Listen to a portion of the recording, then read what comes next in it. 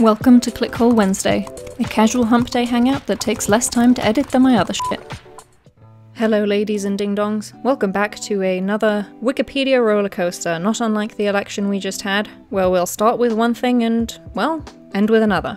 Wow, that is the most thrilling description I've ever come up with. I hope you've all survived the tempestuous roller coaster of an election we just had, and may continue to have, possibly. I apologise for not uploading a video on Saturday. I was caught up in the election hysteria and madness, much like many of us, I suppose, but it's all alright. We can all go back to sleep for four years because Wilbur Beast has been made mayor of Rabbit Hash, Kentucky, and that's all that really matters. Stay tuned for a fresh video on Saturday. Do subscribe if it means it'll make it easier for you to get there. But in the meantime, let's start off this click hole with something random. Ooh, looks like we're starting with a very meaty Wikipedia article for once. That's very exciting. This is about William Ansah Sessarakoo, a prominent 18th century Fante man, best known for his wrongful enslavement. Was any enslavement not wrongful? I just find this this written questionably. Um, anyway, wrongful enslavement, whatever that means, in the West Indies and diplomatic mission to England. He was both prominent among the Fante people and influential among Europeans concerned with the transatlantic slave trade. Born around 1736 in modern day Ghana, which was the then largest slave trading port. His father was the head of the government and chief Kaboksia, don't know this word, one of the local officials responsible for supplying African slaves to European traders. God, how did he sleep at night? Damn. Anyway, uh, he was an important ally for anyone living or trading in the city. No kidding. So his family was of interest to many European polities competing for access to the trade. How nefarious. Okay, so his brother got sent to France, and so then Ansah got sent to England to gain an education, curry favour with the English, and serve as his eyes and ears in Europe. However, the ship captain entrusted with his transport sold him into slavery in Barbados instead, Oh my god, talk about a change of destiny right there. Years later, a free Fante trader discovered Ansah in Barbados and quickly alerted John Currantee of his son's fate. Currantee petitioned the British to free Ansah, and the Royal African Company liberated him and transported him to England. In England, he was received as a prince and gained the respect of London's high society. Most notably, he watched a live performance of Oroonoko and, much to the audience's surprise, fled the theatre in tears because the play depicted a wrongly enslaved African prince who likely reminded Ansah much of himself. Jeez, this is insane. So in the town, the Europeans were largely respected, but the power undeniably rested in the hands of the African caboceers. So, Currantee chooses to send a him to England, with Captain David Bruce Crichton aboard the Lady Carolina. However, said captain betrayed his trust and sold him into slavery. So it played to his favour that he was well known back at home, and so he was recognised by a trader who was doing business in Barbados and fought for his freedom. That is so fortuitous. That is very lucky. Meanwhile, back at home, English trade suffered there because Currantee blamed England for his son's death, but he wasn't dead. So they were very quick to return him home and transported him back to England where he was received as a prince. Sorry about that, bud. Sorry. Sorry we've accidentally forced an ally's son into slavery. So he was received in England in 1748 as the Royal African. Hold on, so how long was he enslaved then? When did he go? God, he didn't live very long. So he was born around 1736, and it doesn't say when he went. He was only 12 when he was found and brought back to England, so he was a child. Anyway, he returns home two years later in 1750, so he's 14 by, by then. It's weird that they don't write about him like he's Wait, am I doing math wrong? No, he's 14. 1736, 1750, he's 14. I can math. Yes, I can math. When he left England, he also left the fairy tale life of European prince. In Anamabo, the elite certainly had many privileges, but the extravagance found in Europe was simply not present. Oh, he got too used to a bunch of luxuries. And so after only a year back in Africa, he began work at Cape Coast Castle, which was the seat of British power. Oh my god, he wow. So he worked to play both the British and French off each other, so he forced them to offer competitive trade offers and regular tributes to remain in good standing. Smart kid. He personally accepted lavish gifts of whiskey from the British that were meant for the greater Fanti people. Whoopsies. Oh, and in 1761, so he's what, 25, he became infuriated that the governor of Cape Coast Castle paid him in watered down whiskey. They got in a physical fight and he got banned from the castle. The governor went on to claim that he was, quote, not a person of consequence. Oh, because he wasn't John Currantee's heir, even though he was his son. Alright, so he lost favour with the British and spent the rest of his life in Anamaboe. Records exist of him acting as a slave trader during this time, but his activity is relatively unknown. He passed away in relative anonymity, at least from the European perspective. Ansah serves as an important precursor to the mainstream 18th century abolitionist movement in Britain. His time in England as the Royal African set precedents that some Africans were above slavery and comparable to British nobility. In Ansah's memoirs, the author wrote, Good sense is the companion of all complexions, and thereby suggested an inherent equality among those of various races. By establishing this, Ansah's presence in England contradicted the principle of race based slavery. Instead, justifications for slavery then rested on the alleged crimes committed by slaves that had led to their enslavement. Ansa himself, as a man economically and politically invested in the slave trade, did not challenge the morality of the slave trade, but his very existence in London subverted the idea Africans could be enslaved for no reason. Weird. Weird story. Very weird. You know what? I'm always in need of a vacation, especially in 2020. Let's go to Barbados, baby. Yeah. Did you know, side note before we go through this page, that they have a um, long-term work from home visa. Check it out. You can live there for like a year as long as you can prove you have income coming in from elsewhere and that it's above a certain threshold. And threshold's pretty low. But they give you basically a visa to just live there. It's pretty great. Been very tempted. Okay, Caribbean island. It is outside the hurricane belt. You get all the glory of the Caribbean without the hurricane belt. That is no small thing. Bridgetown is its capital and largest city. It's been inhabited by Kalinago people since the 13th century. Prior to that by other Amerindians. Late 15th century Spanish navigators came, of course they did. The Portuguese Empire claimed the island for a short while, but abandoned it, with their only remnants being an introduction of wild boars for a good supply of meat whenever the island was visited and to replenish their supply of fresh water. Then the English came in, and it became a wealthy sugar colony and the English centre of the African slave trade. In 1966, Barbados became an independent state and Commonwealth realm with Elizabeth II as its queen, but the country is set to remove her as its head of state and become a republic by 30th of November 2021. You heard it here first, probably. Possibly, I don't know. Has a population of just over a quarter million people. You know, that's actually less than I thought. I mean, I know it's an island, but I don't know. The name Barbados is from either the Portuguese term Os Barbudos or the Spanish equivalent Los Barbudos, both meaning the bearded ones. It is unclear whether bearded refers to the long hanging roots of the bearded fig tree. Don't see long hanging roots in this picture, but we'll go with it. Or the allegedly bearded Caribs who once inhabited the island, or more fancifully, to a visual impression of a beard formed by the sea foam that sprays over the outlying reefs. Oh, that is very, very fanciful. The original name for Barbados in the pre-Columbian era was Ichiruganaim, with possible translations including Red Land with White Teeth or Redstone Island with Teeth outside, or simply Teeth.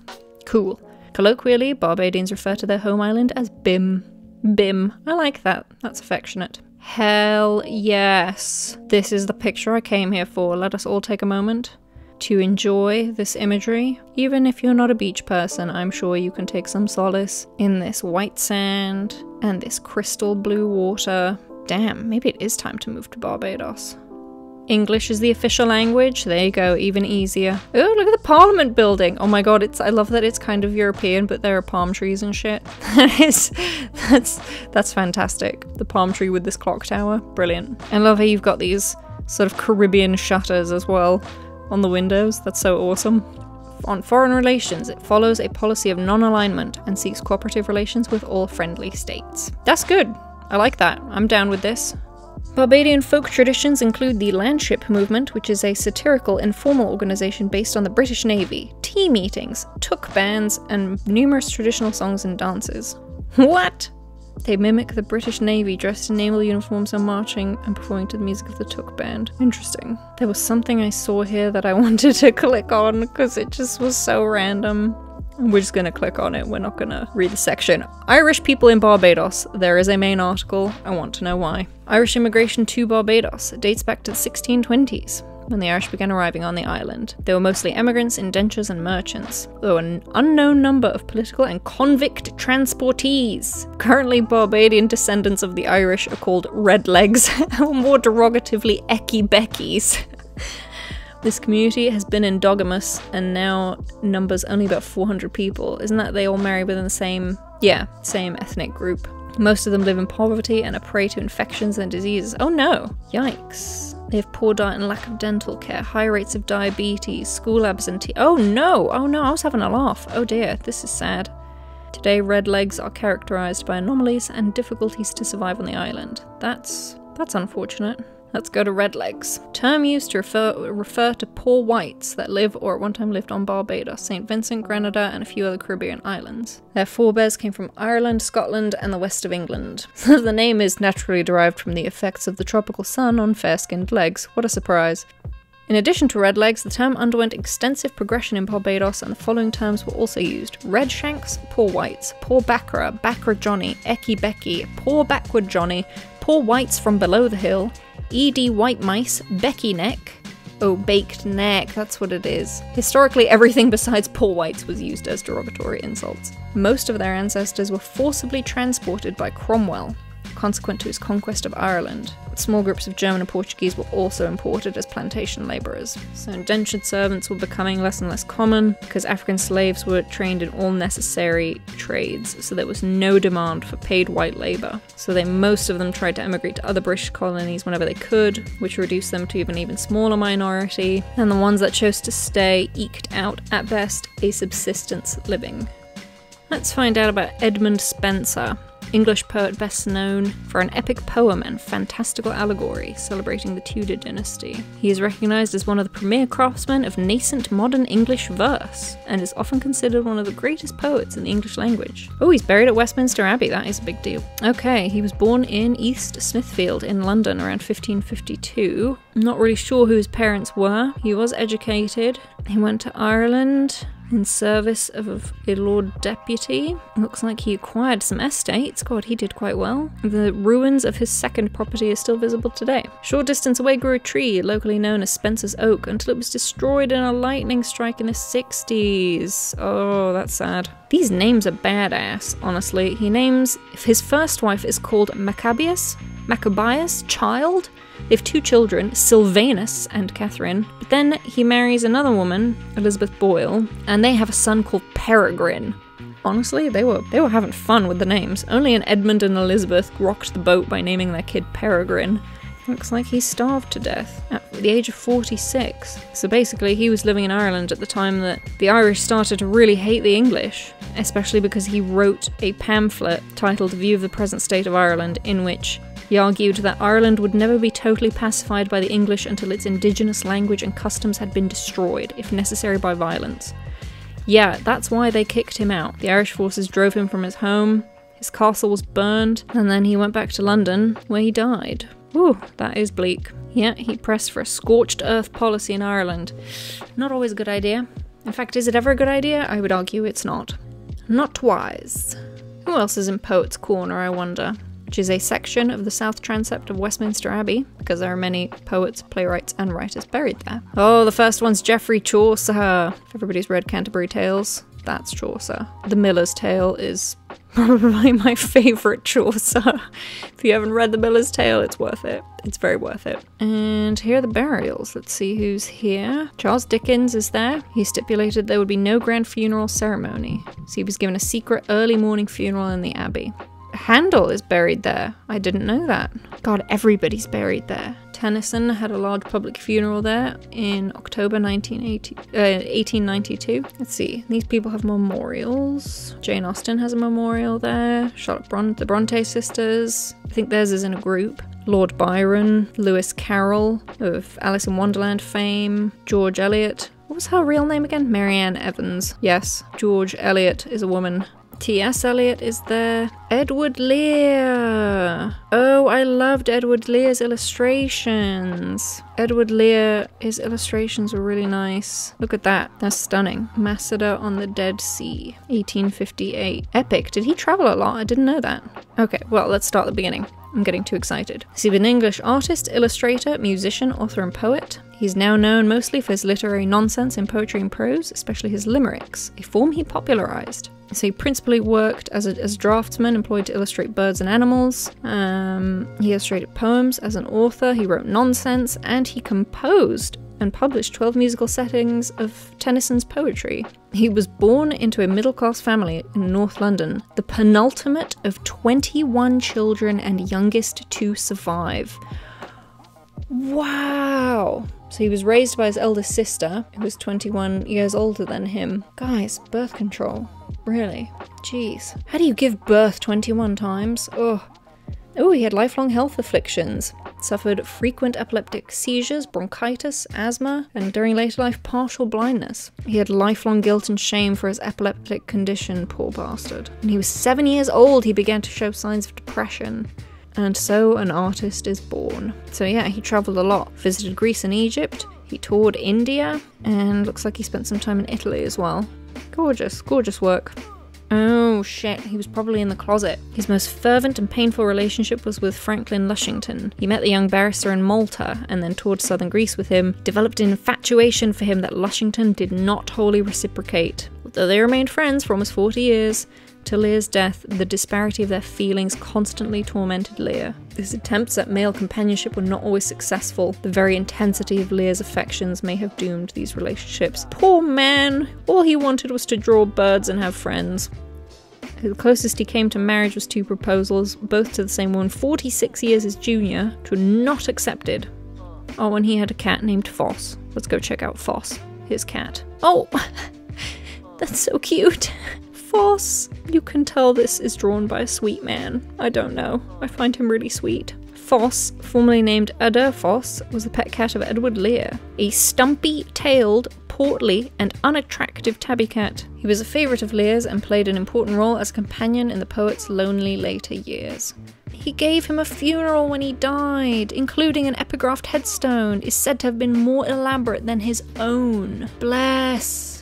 Oh my god. Oh, he drew himself and his cat in a letter to somebody. Oh my god, that's so cute. Oh, he did have a stumpy tail. that's so precious. So he was adopted while he was a kitten. His full name was the Greek word Adelphos, a variant of Adelphos, which means brother, but he was generally known by Foss, or particularly by Lear, as Old Foss. He was a tabby cat described as unattractive. His tail was cut short by Lear's servants to try to prevent him from wandering. What? Oh, I thought he was just. Oh, did Lear approve of that? I don't know that I approve of that. No photographs survive of the cat as he jumped out of Lear's arms on the only occasion when one was to be taken.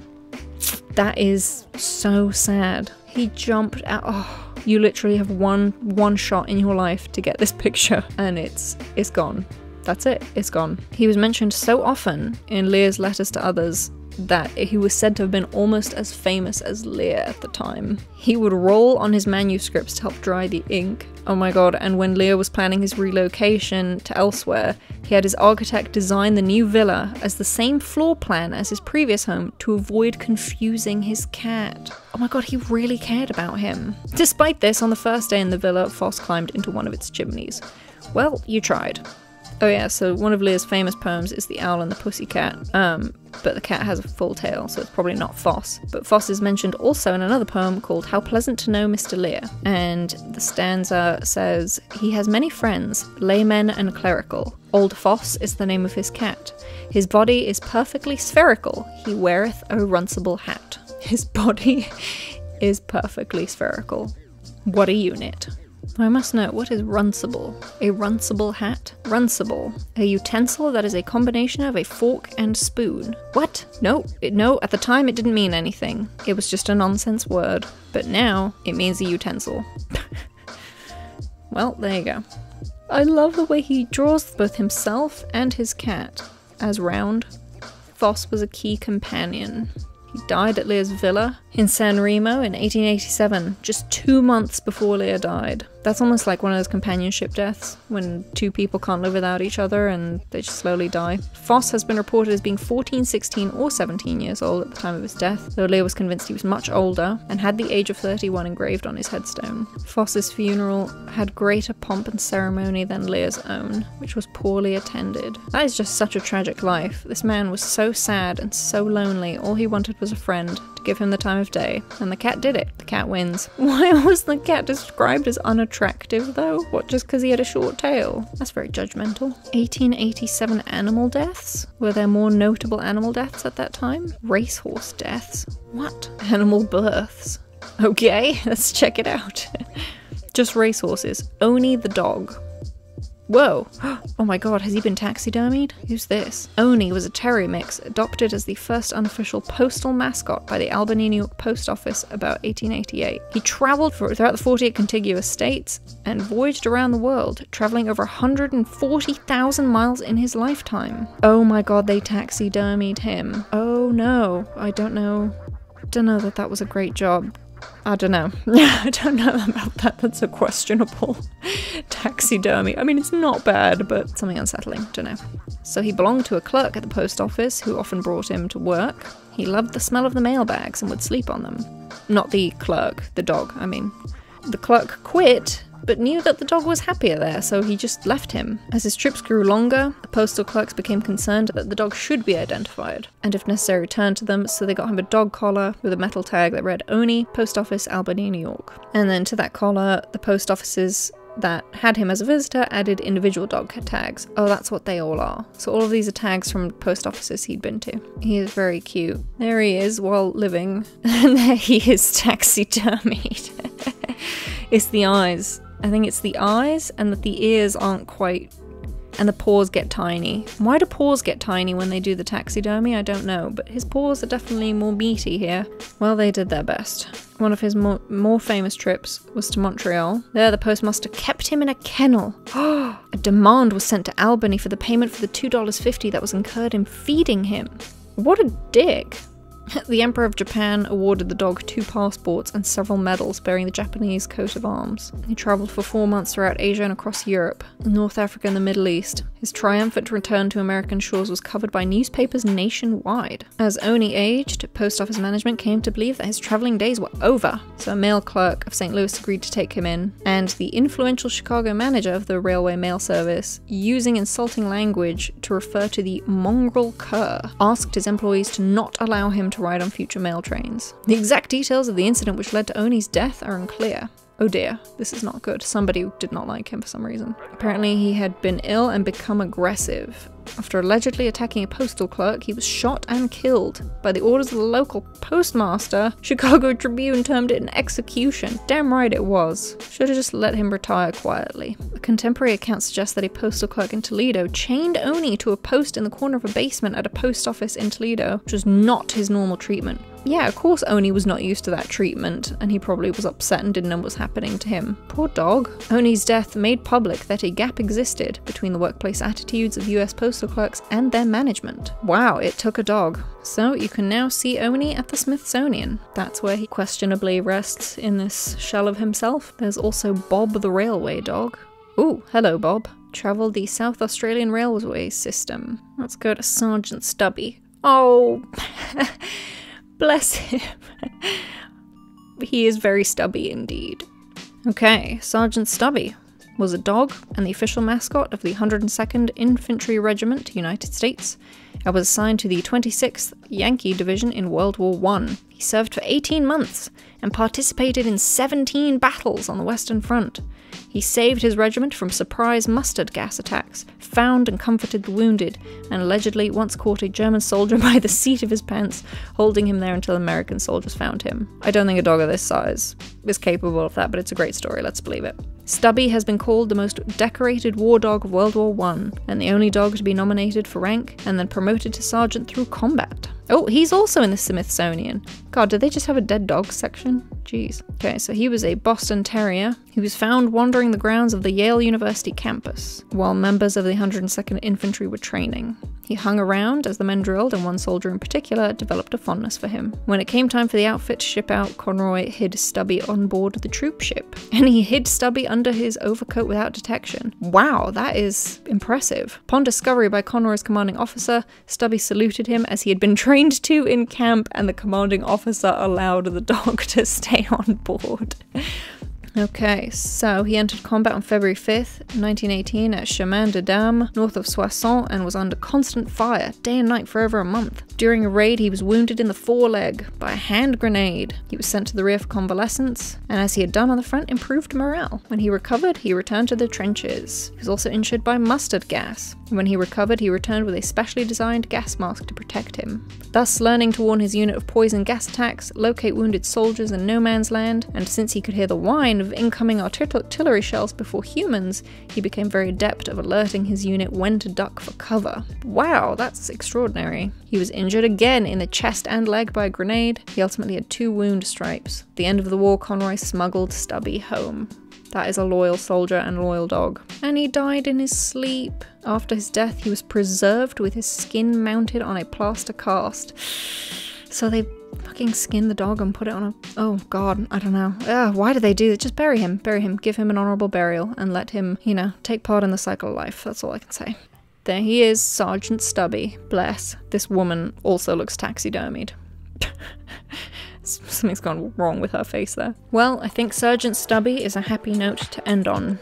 We started this clickhole with William Ansah Sessarakoo, who was a boy, essentially, who was unintentionally sold into slavery. After that, we decided rapidly to take a vacation and went to Barbados, where we enjoyed lovely pictures of a beach. And then we branched off to the Irish Redlegs and their situation, and somehow we ended up on some poets, like Edmund Spenser and Edward Lear. And we considered the charms of their pets, especially Foss, Edward Lear's cat, who served him honourably. Then somehow we ended up on Owney, the national post office dog, I suppose. And then we finished off with beloved Sergeant Stubby, another honourable, loyal canine. So if you enjoyed this clickhole, please like, comment, share, and subscribe. Stay tuned for another video on Saturday. Thanks for watching and listening. Appreciate you, and I'll see you in the next one. Bye!